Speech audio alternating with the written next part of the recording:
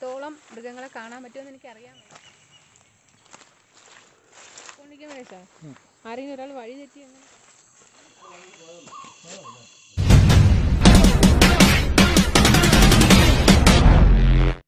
എല്ലാവർക്കും ഇന്ന് എന്റെ പുതിയ വ്ളോഗിലേക്ക് സ്വാഗതം. ഞാൻ ഇന്ന് ഒരു അടിപൊളി സ്ഥലത്താണ് നിൽക്കുന്നത്. മലയിലും കുന്നിലും ഒന്നും അല്ല. ഞാനിപ്പോൾ നിൽക്കുന്നത് തേക്കടിയിലാണ്. തേക്കടിയിലെ പെരിയാർ ടൈഗർ റിസർവിന്റെ മുന്നിലാണ്. കാടിനുള്ളിൽ ഒരു വാച്ച് ടവർ ഉണ്ട്. അവിടെയാണ് ഇന്ന് എന്റെ താമസം. അപ്പോൾ അവിടുത്തെ കാഴ്ചകളെല്ലാം ഞാൻ നിങ്ങൾക്ക് കാണിച്ചു തരാം. ഭാഗ്യമുണ്ടെങ്കിൽ നമുക്ക് അവിടുത്തെ മൃഗങ്ങളെയൊക്കെ കാണാൻ സാധിക്കും. ഇവിടെയാണ് നമ്മൾ ബുക്ക് ചെയ്തിട്ട് വന്ന് ചെക്ക് ചെയ്യുന്ന സ്ഥലം. ഇവിടുത്തെ ചെക്കിംഗ് ഒക്കെ കഴിഞ്ഞ് നമ്മൾ ഇനി അങ്ങോട്ടേക്ക് പോവുകയാണ്. ഇവിടെ നിന്ന് നമ്മൾ ബസ്സിലാണ് പോണത്. ആ കിടക്കുന്നതാണ് നമ്മൾ ബസ് നമ്മുടെ കൂടെ തന്നെ ഒരു ഫോറസ്റ്റ് ഓഫീസറും രണ്ട് ഗൈഡന്മാരുമാണ് വരുന്നത്. നമ്മൾ ബസ് കയറിയിട്ടുണ്ട്. ഇനി നമ്മൾ ഈ കാണുന്നവരൊക്കെ ബോട്ടിംഗ് ചെയ്യാനാണ് പോകുന്നത്. ഈ ബോട്ടിലേക്കാണ് നമ്മുടെ യാത്ര. എന്നിട്ട് നമ്മൾ വാച്ച് ടവറിലേക്കാണ് പിന്നെ പോകുന്നത്.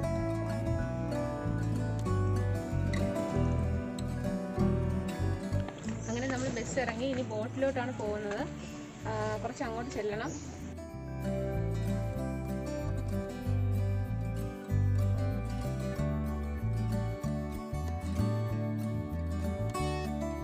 ഇതാണ് നമ്മുടെ ബോട്ടിംഗ് പോയിന്റ്. ഇവിടെ നിന്നാണ് നമ്മൾ ബോട്ടിലേക്ക് കയറുന്നത്.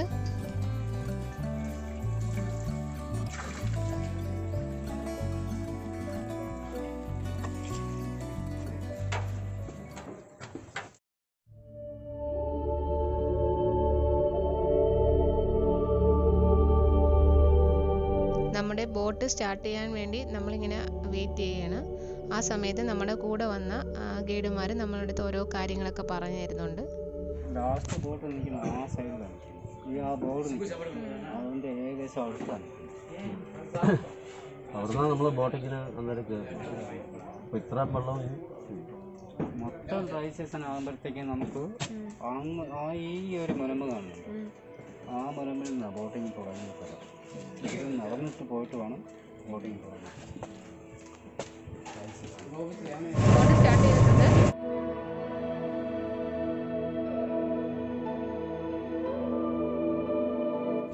നേരെ നമ്മൾ പോണത് വാച്ച് ടവറിലാണ് പതിനഞ്ച് മിനിറ്റ് ബോട്ട് യാത്രയുണ്ട്.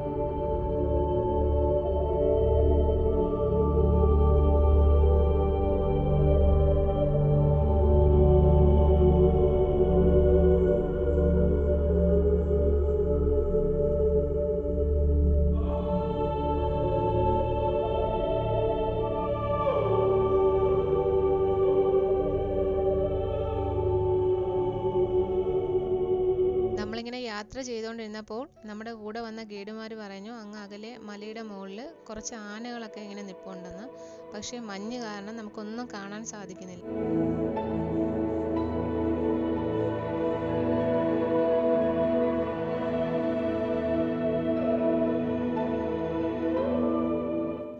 നമ്മളങ്ങനെ വാച്ച് ടവറിലേക്ക് പോകാനുള്ള പോയിന്റിൽ എത്തിയിട്ടുണ്ട്. ഇവിടെ നിന്ന് നമ്മൾ നടന്ന് കയറി വേണം വാച്ച് ടവറിലേക്ക് പോകാനുള്ള. ഇതാണ് ആ ലേക്ക് പാലസ്. ഇതിന്റെ മുന്നിൽ കൂടെയാണ് നമ്മൾ വാച്ച് ടവറിലേക്ക് പോകാനുള്ള ഇതുവഴി നമ്മൾ കയറി പോകണം. ഈ ലേക്ക് പാലസ് എന്ന് പറഞ്ഞാൽ കെ ടി ഡി സിയുടെയാണ്. ഇവിടെ താമസിക്കണമെങ്കിൽ കുറച്ച് എക്സ്പെൻസ് ആവും. അതായത് കുറച്ച് അധികം പൈസ കൊടുത്താലേ നമുക്ക് ഇവിടെ താമസിക്കാൻ പറ്റുള്ളൂ. ഫാമിലി ആയിട്ടൊക്കെ വരുന്നവർക്ക് ഇവിടെ സുഖമായിട്ട് താമസിക്കാൻ പറ്റും. നമ്മളിവിടെ കയറി വന്നപ്പോൾ നല്ല മഴയായിരുന്നു. അപ്പോൾ നമ്മൾ കുറച്ച് സമയം ഇവിടെ വെയിറ്റ് ചെയ്തു. അതിനുശേഷമാണ് ലീച്ച് സോക്സ് ഒക്കെ തന്ന് നമ്മളിങ്ങനെ കാലിൽ അത് കെട്ടി പോവാനായിട്ടുള്ള തയ്യാറെടുപ്പിലിരിക്കുകയായിരുന്നു നമ്മൾ ഈ ലീച്ച് സോക്സ് കെട്ടുന്നതെന്ന് വെച്ചാൽ നമ്മുടെ ശരീരത്തിൽ അട്ട കടിക്കാതിരിക്കാൻ വേണ്ടിയാണ്. മഴ ഏകദേശം ഒന്ന് കുറഞ്ഞപ്പോൾ നമ്മൾ അങ്ങനെ നമ്മുടെ യാത്ര തുടങ്ങി. കുറച്ച് ദൂരം നമ്മൾ നടക്കേണ്ടി വരും. കാട്ടിലൂടെയാണ് നമുക്ക് യാത്ര. നമ്മളിങ്ങനെ പോകുന്ന വഴിക്ക് തന്നെ ചിലപ്പോൾ ഭാഗ്യമുണ്ടെങ്കിൽ നമുക്ക് മൃഗങ്ങളെയൊക്കെ കാണാൻ സാധിക്കും.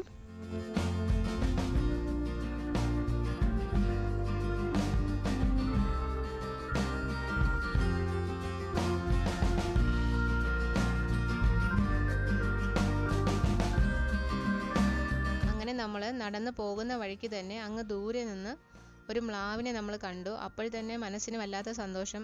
നമ്മൾ പോകുന്ന വഴിക്ക് തന്നെ ഇങ്ങനെ നമുക്ക് മൃഗങ്ങളെയൊക്കെ കാണാൻ കഴിഞ്ഞല്ലോ.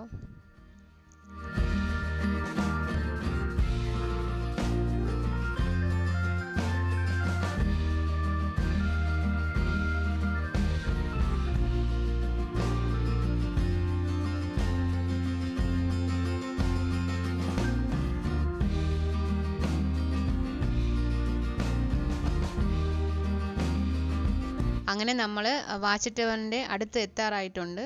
അങ്ങ് ദൂരെ നിന്നാൽ നമുക്ക് കാണാൻ കഴിയുന്നുണ്ട്. വാച്ച് ടവർ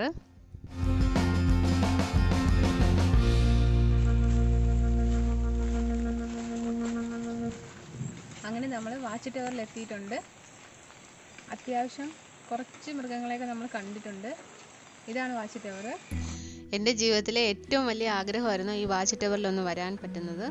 പക്ഷെ അത് സാധിച്ചു. എനിക്ക് ഭയങ്കര സന്തോഷമാണ് ഞാൻ ഈ വാച്ച് വന്നപ്പോൾ തന്നെ മനസ്സിന് ഭയങ്കര ഒരു വല്ലാത്തൊരു ഫീലാണ് എനിക്ക് വന്നത്. നമുക്കിങ്ങനെയുള്ള സ്ഥലങ്ങളൊക്കെ ഭയങ്കര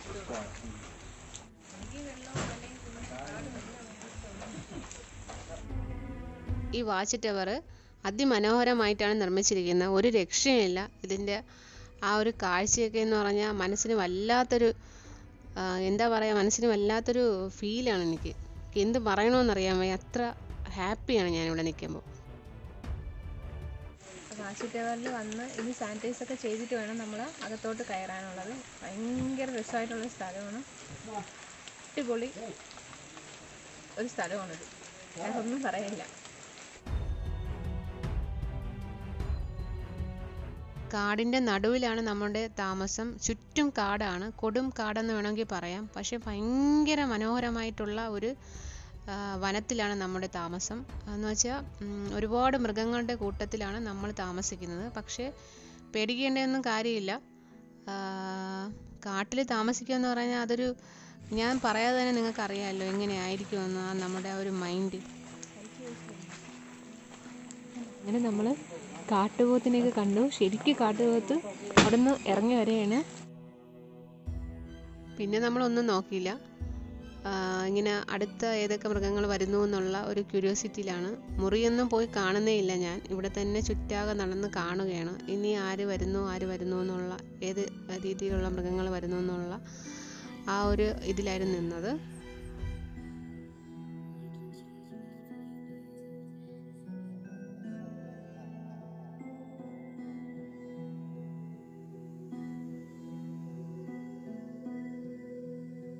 വാച്ച് ടവർ എന്ന് പറയുന്നത് ബ്രിട്ടീഷുകാരുടെ കാലത്ത് പണിത ഒന്നാണ് ഈ വാച്ച് ടവർ.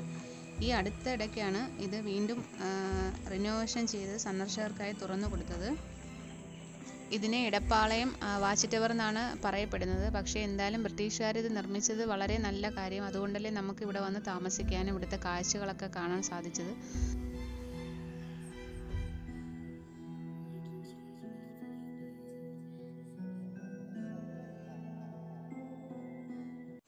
വാച്ച് ടവറിന്റെ മുകളിലേക്ക് പോവുകയാണ്.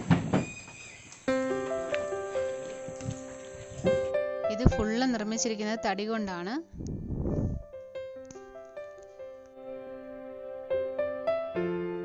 ഈ സ്റ്റെപ്പുകളൊക്കെ കയറി ചെല്ലുന്ന കാഴ്ച എന്ന് പറഞ്ഞാൽ ഒരു അസാധ്യ വ്യൂ ആണ്. ഒന്നും പറയാനില്ല അത്ര മനോഹരമായിട്ടുള്ള ഒരു വ്യൂ ആണ് നമുക്ക് കാണാൻ സാധിക്കുന്നത്.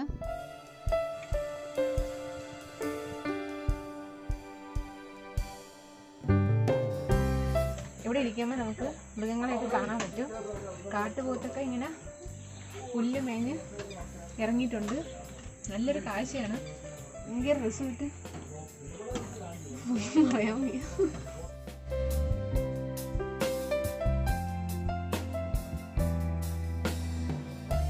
കാട്ടുപോത്ത് ഇതുവരെ പോയിട്ടില്ല. കുറേ എണ്ണ അവിടെ നിന്ന് മുകളിൽ നിന്ന് വരുന്നുണ്ട്.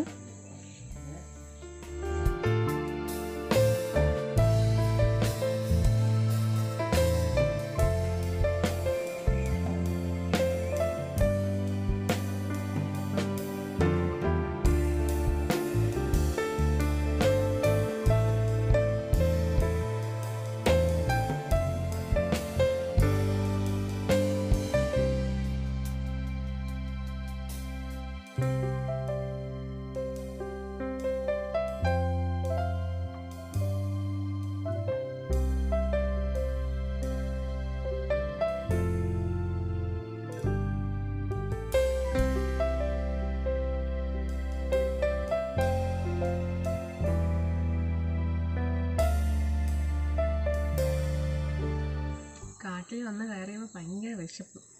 അങ്ങനെ ഞാൻ വീട്ടിൽ നിന്ന് കുറച്ച് ചിപ്സ് കൊണ്ടുപോയി അങ്ങനെ മൃഗങ്ങളെയൊക്കെ നോക്കി കഴിച്ചാൽ ചെയ്യാം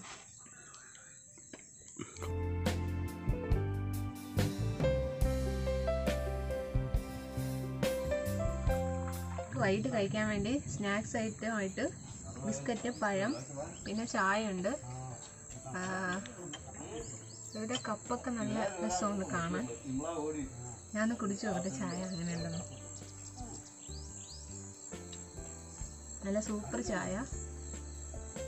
കാട്ടിന്റെ നടുവിൽ ഇങ്ങനെ മൃഗങ്ങളെയൊക്കെ കണ്ടുകൊണ്ട് നിന്ന് ചായക്ക് കുടിക്കാൻ ഭയങ്കര രസമായിട്ടുള്ള ഒരു സീനാണ് പറഞ്ഞറിയിക്കാൻ വയ്യ. ഭയങ്കര രസമായിട്ടുള്ള ഒരു സ്ഥലമാണ്.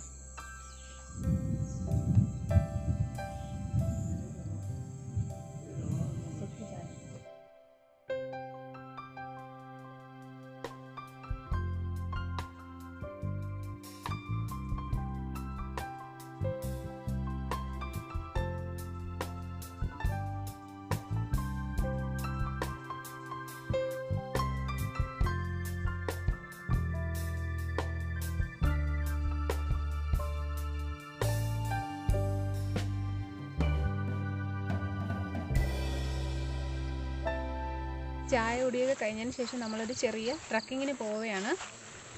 എത്രത്തോളം മൃഗങ്ങളെ കാണാൻ പറ്റുമെന്ന് എനിക്ക് അറിയാൻ വയ്യ. എന്നാലും നമുക്കൊന്ന് പോയി നോക്കാം. മഴ പെയ്ത് അത്യാവശ്യം കുറച്ച് ചെളിയൊക്കെ ഉണ്ട് ഇവിടെ. അപ്പോൾ അതുകൊണ്ട് നടക്കാൻ കുറച്ച് ബുദ്ധിമുട്ടുണ്ട്. അതുപോലെ തന്നെ അട്ടയും ഒരുപാടുണ്ട് ഇവിടെ. പക്ഷെ അതൊന്നും നമ്മൾ കാര്യമാക്കിയില്ല. നമ്മുടെ മനസ്സിലെന്ന് വെച്ചാൽ കാട്ടിൽ എത്രത്തോളം പോകാൻ പറ്റുമോ അത്രത്തോളം നമുക്ക് വിഷ്വൽ എടുക്കാൻ പറ്റുമോ അന്നൊക്കെ ഉള്ള ഒരു ചിന്തയിലായിരുന്നു ഞാൻ നടന്നത്. ഞാനിങ്ങനെ ഓരോ സ്ഥലത്തും ഇങ്ങനെ നോക്കുന്നുണ്ട്. എവിടെയെങ്കിലും മൃഗങ്ങളുണ്ടോ ഉണ്ടോ എന്ന്.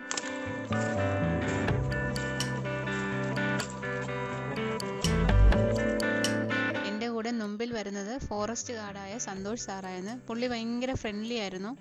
നമുക്ക് ഓരോ ഓരോ കാര്യങ്ങളായിട്ട് ഇങ്ങനെ പറയുന്നുണ്ട്. മൃഗങ്ങൾ എപ്പോഴൊക്കെ ഇറങ്ങുമെന്നും. കാട്ടിലൂടെ നമ്മുടെ യാത്ര എങ്ങനെയായിരിക്കും അതുപോലെ തന്നെ കൂടെ വന്നിരുന്ന രണ്ട് ഗൈഡന്മാരും ഉണ്ട്. അവരും നന്നായിട്ട് സംസാരിക്കുന്നവരായിരുന്നു. അവരും അതിനെക്കുറിച്ചൊക്കെ പറയുന്നുണ്ട്. നമുക്കറിയാൻ വയ്യാത്ത കാര്യങ്ങളൊക്കെ അവർ നന്നായിട്ട് പറഞ്ഞ് മനസ്സിലാക്കി തരുന്നുണ്ട്.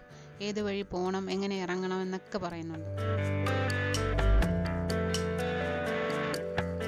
കൃഷ്ണൻകുട്ടി ചേട്ടനാണ് നമ്മുടെ ഗൈഡ്. ഗൈഡിൽ ഒരാൾ പുള്ളി കാടിനെ ശരിക്കും അറിയുന്ന ഒരാളായിരുന്നു.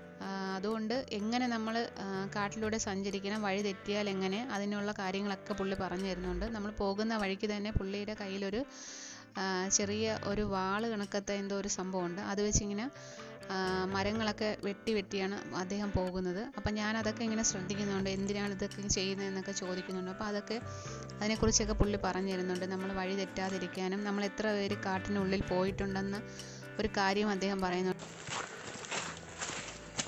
നാല് വന്നിട്ടുണ്ട്. അതായത് നമ്മൾ അഥവാ ഒരു പക്ഷേ നമ്മൾ കാട്ടിലകപ്പെട്ടു പോയാലും ഫോറസ്റ്റുകാർ വന്നു കഴിഞ്ഞാൽ ഈ കാട്ടിനകത്ത് പോയവർ എത്രയാണെന്ന് കാണിക്കാൻ വേണ്ടിയാണ് ആ മൂന്ന് വരകൾ ഇങ്ങനെ ഇടുന്നത്. അപ്പോൾ അതുകൊണ്ട് അങ്ങനെയുള്ള ഒരുപാട് കാര്യങ്ങൾ മൃഗങ്ങളെ കാര്യങ്ങളാവട്ടെ അവർ നല്ല ഒരു ഫ്രണ്ട്ലി ആയിരുന്നു അവരെല്ലാവരും.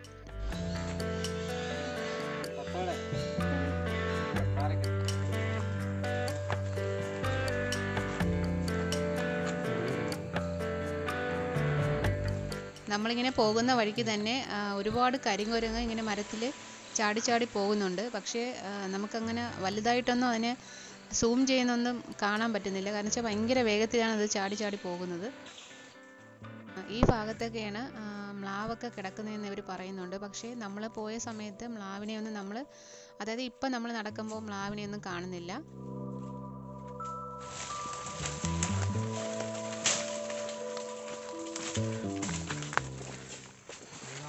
നമ്മുടെ സെയിം ലേക്കാണ് വെള്ള നമ്മൾ ഈ കാണുന്നത്. ഒരു വെള്ള വയറ് കാണുന്നില്ലേ? അതായിരുന്നു. നമ്മൾ ആ വെള്ളത്തിന്റെ സൈഡിൽ കൂടെ നമ്മൾ വരുന്നത്.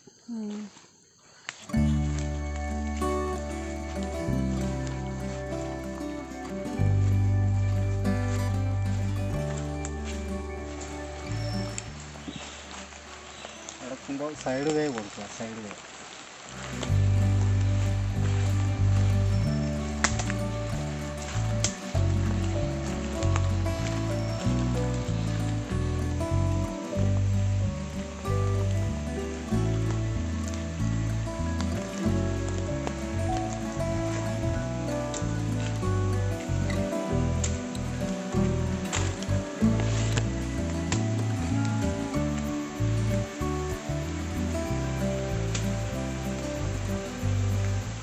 നമ്മളിങ്ങനെ നടന്ന് ഏതാണ്ടൊരു വെള്ളച്ചാട്ട വെള്ളച്ചാട്ടം എന്ന് തന്നെ പറയാം.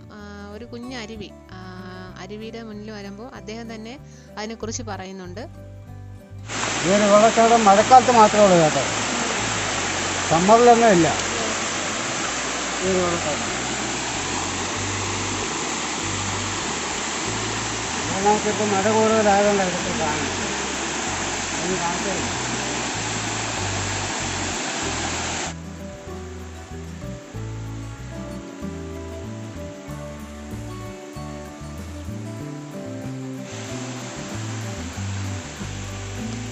നമ്മളങ്ങനെ പിന്നെയും കുറച്ച് ദൂരം കൂടെ നടക്കുന്നുണ്ട്. ഇനിയും വേറെ ഏതെങ്കിലുമൊക്കെ മൃഗങ്ങളെ കാണാൻ പറ്റുമെന്ന് നമ്മളിങ്ങനെ നോക്കി നടക്കുകയാണ്.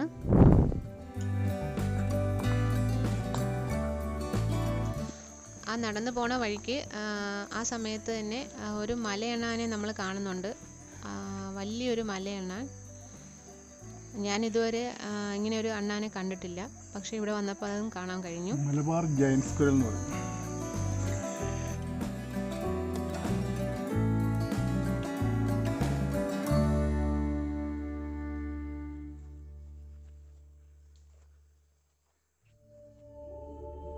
കയറി വരുന്നത് ഒരു മലയുടെ മുകളിലാണ്. അവിടെ വന്ന് നിൽക്കുമ്പോൾ അസാധ്യമായ ഒരു വ്യൂ ആണ്. തേക്കടിയുടെ ആ ഒരു കോടമഞ്ഞൊക്കെ ഇങ്ങനെ ഇറങ്ങി വരുന്നുണ്ട്. മനോഹരമായൊരു കാഴ്ചയാണ്. എത്ര പറഞ്ഞാലും മതി വരുന്നില്ല.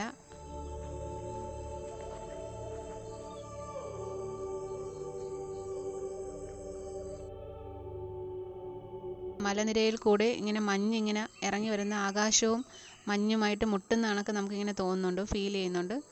വല്ലാത്തൊരു അനുഭവമാണ്.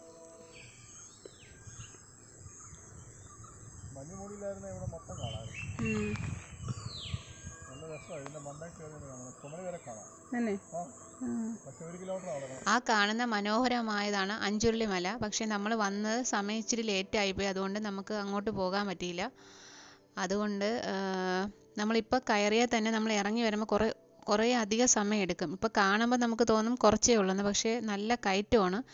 നമ്മൾ വിചാരിക്കുന്ന കണക്കല്ല. അപ്പോൾ ഇച്ചിരി സമയം എടുത്താലേ നമുക്ക് അതൊക്കെ കണ്ട് കവർ ചെയ്ത് വരാൻ പറ്റുള്ളൂ. ഈ കാഴ്ചകളൊക്കെ കണ്ടു നിൽക്കുമ്പോൾ തന്നെ നമ്മുടെ സന്തോഷ് സാറ് അതിനെക്കുറിച്ചൊക്കെ പറഞ്ഞു തരുന്നുണ്ട്. ഇവിടെ നിന്ന് ആന കിടപ്പൂലല്ലേ സാർ ഇല്ല ഇല്ല കയറി പോകും ഒമ്മലോട് പോകും ഇപ്പോൾ ഇവിടെ ഈ പരിസരത്തൊക്കെ നിന്ന് പുല്ല് എത്താൻ എന്താന്ന് വെച്ചാൽ ഈ വെള്ളം കയറി കിടക്കുന്നുണ്ടോ. ഇത് ഇങ്ങോട്ട് ഇങ്ങനെ നിർത്തിയിരിക്കുന്നതുകൊണ്ടാണ് അതല്ലെന്നുണ്ടെങ്കിൽ ഈ സൈഡിലെല്ലാം പിന്നെ ഇഷ്ടം പോലെ ഫ്രീ സ്ഥലമായിട്ട് കിടക്കും. അവിടെ എല്ലാം പുല്ല് കിളുക്കും ഈ മൃഗങ്ങൾ വന്ന് തിന്നുകയും ചെയ്യും. ആ ഇവിടെയൊക്കെ ഇഷ്ടം പോലെ മൃഗങ്ങളെ കാണാമെന്നാണ് ഇത് സീസണാണ്. ഇത് ഈ സമയം എന്ന് പറയുന്ന സീസണാണ്. ഈ ശബരിമലയിൽ പിന്നെ ആൾ കയറാൻ തുടങ്ങുമ്പോഴത്തേന് അവിടെയുള്ള മൃഗങ്ങളുടെ എന്ന് വെച്ചാൽ പ്രത്യേകിച്ച് ആനയൊക്കെ ഇങ്ങോട്ട് പോയി ആ അത് ആ ഒരു കാലാവസ്ഥ ഇപ്പോൾ ഇല്ല ശല്യമായിട്ട് വന്നിരിക്കുക ചെടികൾക്ക് തിന്നാനൊന്നും ഇല്ല. ഈ മാവ്. അത് മീനായിരിക്കില്ല പാമ്പാകാനാ സാധ്യത. അത്ര നീളത്തിലുണ്ടല്ലോ. ഇവിടെ നമ്മുടെ ഇതുണ്ട്. പിന്നെ ക്യാമ്പുണ്ട്. ഇവിടെ ഇത് അഞ്ചുരുളി മലയെന്ന് പറയും. അവിടെ നിങ്ങൾക്കല്ലേ പോകാൻ പറ്റുള്ളൂ? അല്ല അവിടെ ബാമ്പു റാഫ്റ്റിംഗ് എടുത്താൽ അവിടെ പോവാം. ബാമ്പു റാഫ്റ്റിംഗ് പ്രോഗ്രാം ഉണ്ട്. ഇപ്പൊ നിർത്തി വെച്ചേക്കുക വെള്ളം ഇങ്ങനെ വെള്ളം ഇങ്ങനെ കയറി കിടക്കുന്നത്. ഈ കൊറോണയുടെ ആഫ്റ്റർ എഫക്റ്റ് ആണെന്നും കൂടെ പറയാം. ഇത്തരം വരുന്നില്ലായിരുന്നു. ആ സീസണിൽ ആരും വന്നില്ലായിരുന്നു. കട്ടുവായ കണ്ടപ്പോൾ തൊട്ട് പിന്നെ എല്ലാ ദിവസവും ബുക്കിംഗ് ആയിരുന്നു. ഇപ്പം ഞങ്ങളെ കൊണ്ട് പറ്റത്തില്ലാതെ സ്റ്റാഫില്ല ഓരോ ദിവസം ഇപ്പൊ ഞാനിപ്പോൾ ഇന്നലെ ഒരാൾ വന്ന് അങ്ങോട്ട് കയറി. അപ്പോൾ ഇത് മാത്രമല്ല വേറെ പണികളുണ്ടല്ലോ എന്നേ അപ്പോൾ അതൊന്നും ചെയ്യാനായിട്ട് ആളില്ലാതെ വരിക. പിടിപ്പത് പണിയുണ്ട് ഓരോരുത്തർക്കും?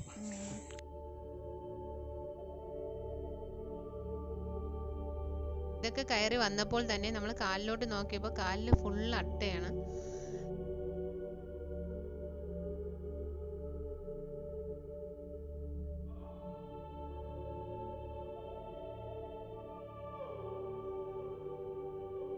പൊക്കോണ്ടിരിക്കാൻ സാർ? ആരെങ്കിലും ഒരാൾ വഴി തെറ്റി എങ്ങനെ കണ്ടുപിടിക്കും? വഴി തെറ്റത്തില്ല നമ്മൾ ഒരുമിച്ചാണല്ലോ പോകുന്നത്. അല്ല അഥവാ ഇങ്ങനെ വിടത്തില്ലല്ലോ. പിടി പിടിച്ച് പോയാൽ കൈയും കാലും പൂച്ചി കുട്ടി തോളെടുത്തെന്നാൽ പിടിച്ചെടുത്ത് കൊണ്ട് വിടണമല്ലോ. ആരെയും ആരെങ്കിലും ഓടിയിട്ടുണ്ടോ ഏ ഇല്ലല്ലോ ഇത് വല്ല വട്ട് പിടിച്ച് തരുമല്ലോ നമ്മളിനിപ്പോൾ ഇറങ്ങി കഴിഞ്ഞാൽ നമുക്ക് റേഞ്ചിന്റെ ഒരു ഇത് വരും. ടോപ്പ് കയറിയപ്പോഴത്തേക്കും നമുക്ക് ഈ മൊബൈൽ റേഞ്ച് ഉണ്ടല്ലോ.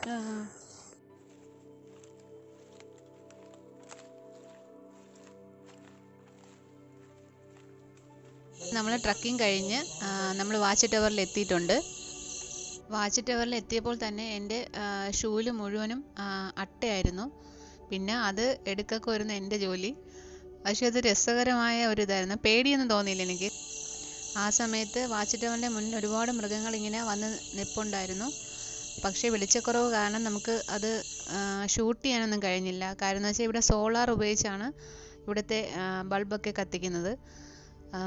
അങ്ങനെ ഒരു ഒരു കുഞ്ഞു പ്രശ്നം ഉണ്ടായിരുന്നു പക്ഷേ അതൊക്കെ നമ്മൾ ഭയങ്കര ആസ്വദിച്ചാണ് നമ്മളിവിടെ ഇരിക്കുന്നത്.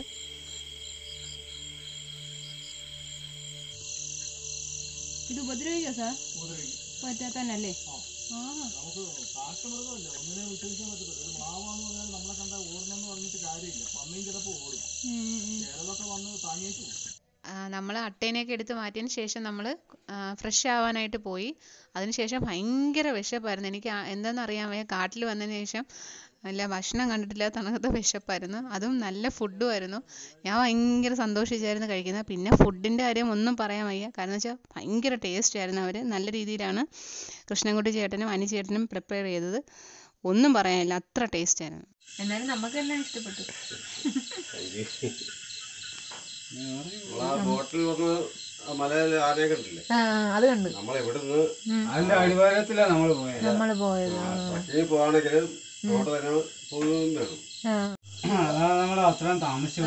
പക്ഷെ നല്ലതായിരുന്നു. പോയത് നല്ലതായിരുന്നു. പിന്നെ വന്ന ഉടനെ കുളിച്ചപ്പം ഒരു നല്ല പ്രശ്നം ആദ്യം ഞാൻ വെച്ചാൽ ഇനി കുളിക്കണോന്നൊക്കെ വിചാരിച്ചിരിക്കുന്നു അപ്പൊ എനിക്ക് അട്ട കയറി അപ്പൊ എന്തായാലും കുളിച്ചപ്പോ വെള്ളവും നല്ല നല്ല രസമുണ്ട്.